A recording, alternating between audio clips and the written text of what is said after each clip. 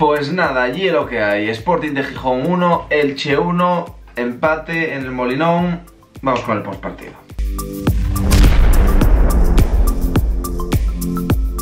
¿Qué pasa, manes? Yo soy Lobi23, bienvenidos a un nuevo vídeo, bienvenidos a un nuevo post partido donde, bueno, pues voy a dar mi punto de vista sobre el encuentro entre el Sporting y el Elche que acabó, como ya dije, con empate a uno. Es un empate que... Meh, meh, meh. A ver, siendo prácticos, mirando la clasificación, dices, bueno, sí, sumé un punto y estoy un punto más cerca de playoff. Pero claro, piensas y dices tú, podía estar a dos de playoff, a un partido, de meterme ahí ya en el salseo máximo. También es cierto que, claro, paras a pensar y dices, joder, es que jugué en casa contra el Elche, equipo de mitad de tabla, que realmente pues no se juega nada, o ya tenía prácticamente la salvación conseguida, y no soy capaz de ganarlo en casa, en el Molinón, en mi estadio, a falta de siete partidos, ahora ya solo nos quedan seis necesitaba esos tres puntos como el comer y no soy quien a sacarlos. Entonces, claro, es la otra cara, ¿no? La práctica es la de ver que estás un punto más cerca de playoff. La real es que empataste contra el Elche y era un partido que tienes que ganar. Tampoco quiero ser alarmista, ¿vale? Porque según lo que yo había más o menos pensado, según yo lo tenía un poquitín mentalizado, la historia era ganar los de casa y no perder contra el Mallorca. Hombre, consigues ganar el Mallorca, pues oye, vas a pegar un golpe encima de la mesa porque el Mallorca está en playoff. Claro, todavía te queda por jugar contra el Cádiz, todavía te queda jugar contra el Albacete, ambos en el Molinón, te faltan los tres puntos de Reus, tienen que ir todavía a Zaragoza, tienen que venir el Lugo a Gijón. Quedan partidos interesantes, quedan muchos cruces por arriba, queda todavía mucha salsa pero cada vez queda menos salsa, o sea, cada vez queda menos opciones, cada vez te queda menos chance de engancharte arriba. Que vale, que lleves también nueve partidos sin perder, que sumaste no sé cuantísimos puntos, que si nos lo hacen dos meses que vamos a estar así, no se lo cree nadie, que José Alberto cogió un equipo que estaba reventado y está haciendo prácticamente un milagro el hacernos soñar con playoff. Todo eso eh, es la realidad, es la realidad. Pero claro, cuando ves que lo tienes tan cerca, que dado los resultados, que no sé quién gana, que no sé quién pierde, que tienes ahí el playoff, ¡pum! Empates en casa. Justo cuando parece que lo estás ahí acariciando, ¡pum! ¡Hostia en la boca! Y más aún cuando en el partido empieces haciéndolo de puta madre, empieces ganando 1-0 con gol de Jan Silvan Babán y, bueno, pues por una cosa o por otra, pues te acaban empatando. Quien si no, Nino. O sea, yo no sé cuántos goles marcaría Nino al Sporting en su vida, pero escucha Nino, regálame una camiseta o algo, solo que te digo, voy a enmarcarla. Voy a poner este tío, nos vacunó tropecientes mil veces. Contra el Sporting A, contra el Sporting B, el año pasado un playoff, cuando jugó en el Osasuna. Bueno, bueno, bueno, bueno, es que de locos lo de Nino. O sea, si tío, nos tienen travesados. No sé qué te hicimos, Nino. Si siempre te quisimos fichar, además yo recuerdo que siempre sonaba Nino para el Sporting. hubo unos veranos que siempre sonaba Nino para el Sporting y lo que pasaba era que para el Sporting lo único que tenía era meternos goles, Nino. La madre que lo parió Nino, hijo. Pero bueno, hablando un poco del partido, vale, empezamos con el equipo, 4-4-2, eh, el, el, estilo habitual. Se caía Canella, entraba Molinero que volvía de la sanción y la duda que teníamos todos, o la que estaba más en el aire, era quién iba a jugar en banda izquierda por Aitor, que ya sabéis que está lesionado cuatro semanas. Bueno, pues entró Traver a la izquierda y Carmona a la derecha. Total, que, eso sí que no me. Eso sí que me jode, macho. Sí que me jode porque aún así Traver hizo un muy buen partido, ¿vale? También cayó bastante a la derecha. Luego sí que hubo recalculaciones ahí, ¿eh? Hubo cambios durante el partido donde Traver fue para la derecha. Pero es que joder a Traver a ponerlo a la izquierda. Para meter a Carmona, es que si me dices, joder, me cago en la puta, tengo que confiar en un chaval del B, pero para meter a Carmona, que ahora mismo estás viendo que no te ofrece nada, que no te aporta nada, no sé, antes jugaba por el balón parado, es que ahora ni eso, porque te lo estás sacando todo otra vez. De hecho, una falta que quiso tirar Carmona la mandó fuera.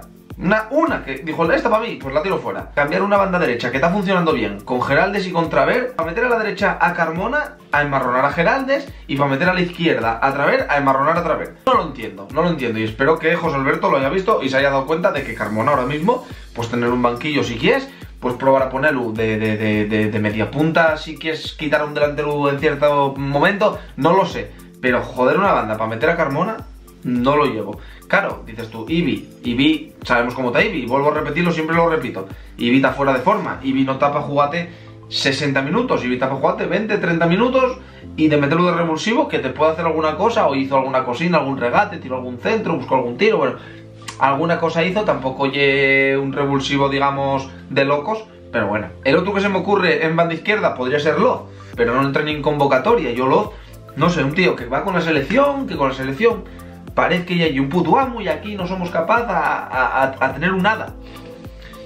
Pero bueno, más allá de analizar la banda izquierda y de ver las cosas que podamos hacer ahí, ojalá se recupere rápido Aitor, que dentro de lo que tenemos y lo mejor que tenemos para la banda izquierda. Vamos a hablar del partido. ¿Qué pasó el partido? ¿Qué pasó? ¿Qué sucedió?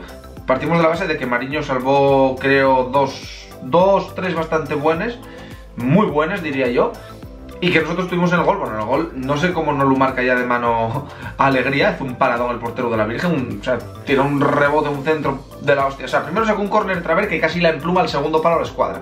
Al rechace centra Jurjevic y mete un bombazo de la Virgen, Alegría por la cabeza, que yo no sé cómo no lo desmayó, hace un paradón el portero y luego llega a Babín y marca. Vale, muy bien. Tuvimos más ocasiones, sí que las tuvimos. Una que destaco muchísimo, muchísimo, una que se fue Jurjevic que tenía en el medio alegría, que no sé si lo ve o no lo quiere ver, o se la quiere crujir él, y, la lía y no consigue tirar, acaba siendo corner. Después de hacerlo muy bien, tira un caño a uno, se va, pim pam, pim pam, pero tenía el pase de la muerte. Hubo una traver muy buena de bola y reventó la espalda al defensa. Sí, claro, es que se me ocurre a mí ahora, pues no se me ocurre ninguna más, pero... El tema es que eh, tú, cuando vas ganando y ves que tienes al equipo, bueno, intentando achuchete un poco, quitó a Alegría, ¿vale? Y quitar Alegría en este equipo ahora mismo no, es un lujo, es un lujo, salvo que él pida el cambio, que yo no sé si pidió el cambio, salvo que se lesione, salvo que lo expulsen, no lo puedes quitar, no lo puedes quitar porque el juego del Sporting ahora mismo lleva balones Alegría, balones Jurjevic y que entre ellos dos se cocina algo ahí arriba esperando que el resto del equipo salga de la cueva.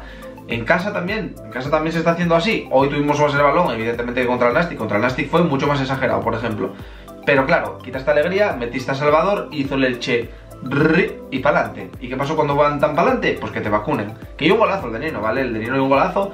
En la defensa, pues bueno, no lo ve llegar por detrás y un golazo, lo que tú quieras. Pero claro, das sales al Elche, no puedes, no puedes eh, quitar al, delantero que y el que te está fijando al equipo rival evitando de que se te vuelquen para adelante. Porque claro, luego queda solo Jurjevic. Total, que cambiamos de 4-4-2 a 4-3 por decir, y luego tuvo que volver a cambiar a 4-4-2 metiendo a Blackman, que Blackman, bueno, entró, pero es que mm, tampoco, que tampoco tuvo nada, no hizo nada, no, tuvo una que tiró y pagó en defensa, creo, no, no. Ahora mismo estoy bastante jodido, ¿eh? hay que ser sinceros, ahora mismo estoy bastante jodido porque miro la tabla, creo, de hecho voy a mirar ahora mismo en HD eh, cómo van los partidos, ahora mismo. Vale, Granada 2-0 a Nastic, Las Palmas 3-0 a Lugo.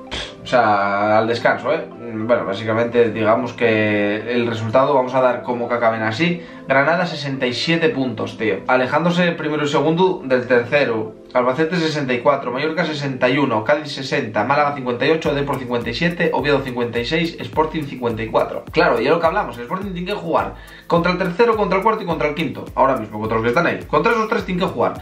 Y jugamos contra los tres dos de ellos en casa y el Mallorca la semana que viene fuera. Claro, si ganes la semana que viene al Mallorca, dices tú, joder, me pongo con 57 y recorto 3, me pongo a 4 de Mallorca, ¿vale? Hay que ver cómo resulten los demás partidos. Pero bueno, parece que te puedes enganchar ahí, pero tienes que ganar el Mallorca, que va como una puta máquina, ¿me entiendes? El Mallorca va de puta madre. No obstante, creo que después del partido de Mallorca tendremos cosas bastante claras, porque también hay otros, otros cruces y demás, y puede ser que hagamos una pequeña predicción de los últimos cinco partidos. Recordemos que tenemos al Reus por ahí por medio, bueno, tenemos cosines que nos beneficien, ¿vale? Como el hecho de que jugamos solamente fuera Mallorca y Zaragoza y el resto de partidos son todos en casa, con el descanso en la penúltima jornada que es que nos vendría de puta madre. Canses ahí, juegues el último partido y coges y ¡pum! Si llegues a playoff, pues llegas hasta playoff con un partido de descanso justo al final, que cuando los equipos están más apretados, joder. Pero bueno chicos, y es lo que hay. Eh, lo positivo, seguimos sin perder. Realmente sigue todavía metido, pero sin estar tan metido y es digamos el último de los metidos, porque está Málaga 58 al Pixel, Depor 57, Oviedo 56, que están ambos a un partido de enganchar ahí, pierde el Málaga, gana el Oviedo y tal, pum, se mete ahí, ¿sabes lo que te digo? Luego está el Sporting con 54 y diríamos, bueno, Almería tiene 52, está a 6, que en 18, a ver, yo creo que la Almería sí que está un pelín, un pelín, un pelín más descolgado, pero bueno, si te gana los 6, tú a saber, ¿eh? que se meta ahí el tirón seguro. Así que nada chicos, yo no sé vosotros cómo lo veis, no sé si, si sois optimistas, si sois pesimistas, si confiáis en que el equipo todavía puede dar ese punch para enganchar a playoff, si ya veis la temporada acabada, qué cambios haríais, cómo valoráis vosotros a los jugadores, si creéis que yo no tengo razón en lo de Carmona o en cualquier otra historia, pues podéis decírmelo. Lo que queráis, lo que sí que podéis hacer todos y cada uno de vosotros y no os va a costar nada es dejar un like y suscribiros, ¿vale? Activad la campanita. Ya mañana tengo que volver al médico, ¿vale? Por eso os digo, si veis los ojos muy brillantes ahora mismo es porque me eché los gotes esos de mierda que me droguen a muerte. a ver qué me dice mañana el médico, a ver cómo está aquí toda la movida y espero poder pillar un poco la continuidad en el canal, que estamos matando el canal, estamos dejándolo morir lenta y dolorosamente, así que metedle ahí un poco de adrenalina con unos likes, anda. Porque madre mía, si no el OPI 23, la leyenda, el genio crack de cracks, va a caer ya en el olvido. Solo los más fieles se acordarán de mí. Y nada, locos, mientras tanto tenéis mi Twitter e Instagram abajo en la descripción y... Cago en la puta. Cago en la puta que dos puntos dejamos escapar hoy.